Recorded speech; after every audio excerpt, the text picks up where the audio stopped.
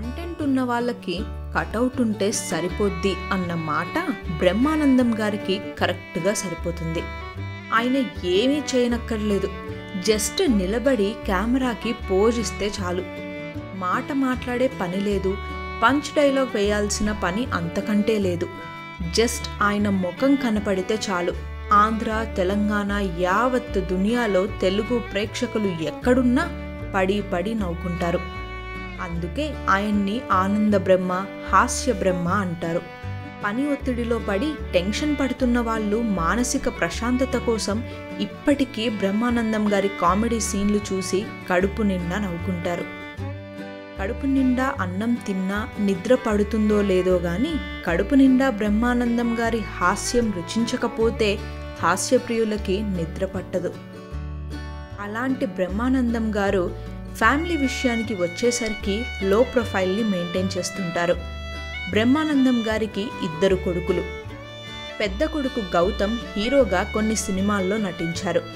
పల్లకిలో పెళ్ళి కూతురు సినిమాతో టాలీవుడ్లో అడుగుపెట్టిన గౌతమ్ ఆ తరువాత హీరోగా నిలదొక్కుకోలేకపోయారు. ఇక మరో కొడుకు సిద్ధార్థ. విదేశాల్లో చదువుకొని ఇటీవలే ఇండియా వచ్చారు.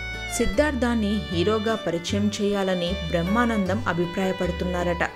కానీ సిద్ధార్థ మాత్రం బిజినెస్ చేసేందుకు మొగ్గు చూపుతున్నట్లు సమాచారం. బిజినెస్ మెన్గా రాణించేందుకు ప్రయత్నాలు చేస్తున్నారట. దీని గురించి డిస్కషన్ జరుగుతున్నట్లు సమాచారం. తాను నడిచిన దారి బాగుంటే ఆ దారిలో తన కొడుకులు వెళ్ళాలని ప్రతి తండ్రి కోరుకుంటారు. అయితే అన్ని రంగాలు ఒకెత్తైతే సినిమా రంగం మరొకెత్తు. ఇది పోటీ ప్రపంచం. కొంత ఫ్యామిలీ బ్యాక్గ్రౌండ్ ఉండాలి. అలా అని ఫ్యామిలీ సపోర్ట్తో హీరోగా కొనసాగొచ్చు అనుకుంటే పొరపాటే. ఇప్పటికే మెగా ఫ్యామిలీ నుంచి నాగార్జున వెంకీ కృష్ణ గారి ఫ్యామిలీ నుంచి చాలామంది హీరోలు వచ్చారు. దర్శకులకి ఉండే మొదటి చాయిస్ నాని శర్వానంద్ విజయ్ దేవరకొండ వంటి యంగ్ స్టార్లే. ఆ తర్వాత మిగతా హీరోల గురించి ఆలోచిస్తారు. కాబట్టి ఈ విషయంలో సిద్ధార్థ వ్యాపార రంగంలో అడుగుపెట్టడం సరైనదే అని కొందరు బ్రహ్మానందానికి సూచిస్తున్నారట.